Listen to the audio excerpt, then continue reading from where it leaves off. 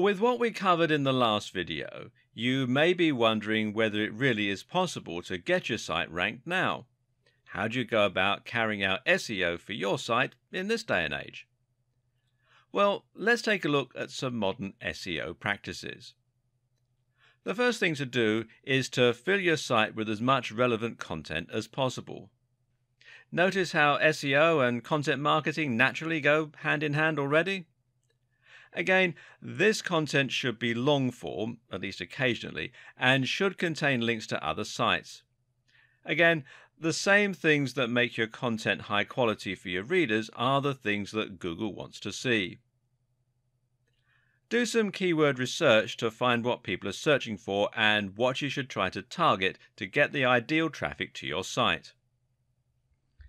You can find the volume of people searching for specific terms by using Google's Keyword Planner.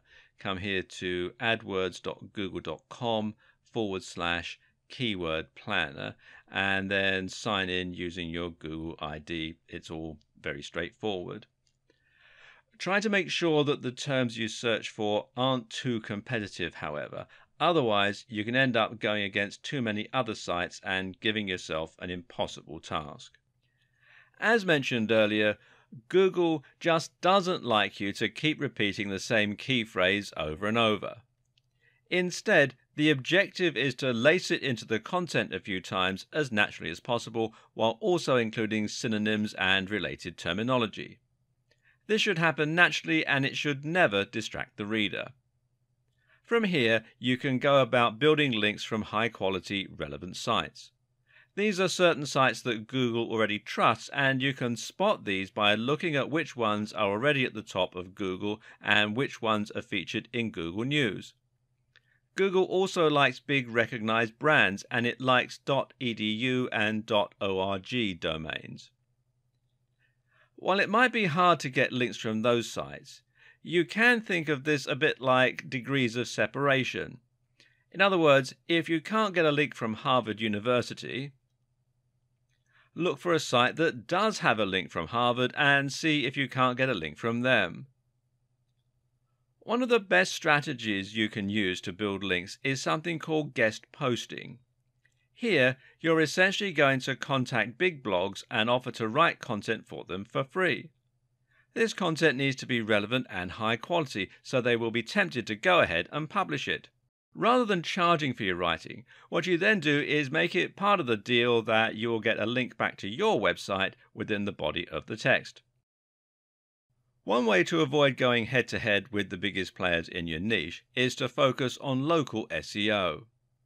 Local SEO is simply SEO that places local keywords front and center. So, if you live in Santa Monica and you run a hairdresser, then you would try to rank for Santa Monica hairdresser, and you would build links from other local companies.